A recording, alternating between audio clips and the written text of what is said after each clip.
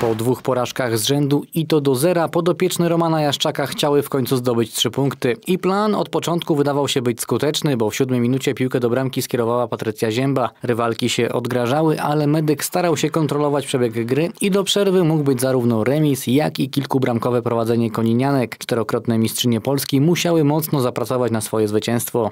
Jakoś prześladuje mnie ten konin, tak mógłbym powiedzieć, bo od zarania naszej historii nie udało się, się pokonać zespołu medyka.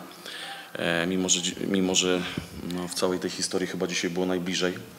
E, znamy realia, wiemy, że zespół medyka jest też odmłodzony.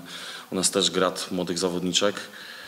E, szkoda, bo moim zdaniem mecz e, na remis No myślę, że wygrał zespół, który bardziej chciał wygrać, bo przypominam sobie końcówce nawet od straty bramki na 1-1, która wydawała się mi, że podłamie tą drużynę, to ta bramka je zmobilizowały i ciągnęły do końca.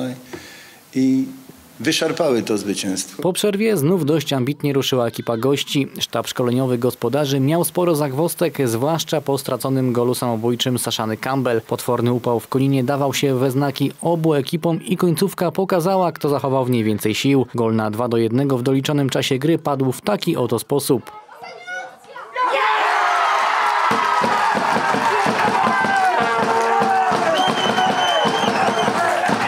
Drużyna medyka w tym sezonie przeszła małą rewolucję kadrową i można zauważyć, że mamy w tej ekipie połączenie młodości z doświadczeniem. Cieszę się, że e, takie cegiełki w postaci mnie, Ani, Karli, e, Roki e, gdzieś tam wnoszą do zespołu właśnie e, tą wiarę i tutaj tą taką moc.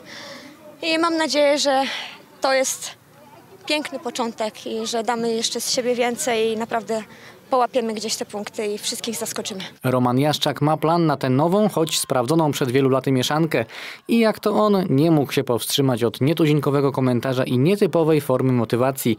Co jednak najważniejsze, była ona skuteczna. Mamy dzisiaj trenera reprezentacji i reprezentacje oczekują, że em, mm, 15-latki mają już grać w Ekstralidze. To moja drużyna jest stara i dzisiaj im przed meczem powiedziałem, że koniec z usprawiedliwieniem, że jesteście młode, że jesteście nowe, macie po 18 lat i macie po prostu zapierdzielać. I tyle, panie trenerze. I zapierdzielałem, czyli medyk jest stary, bo większość zawodniczek ma 18 lat, niektórzy 17.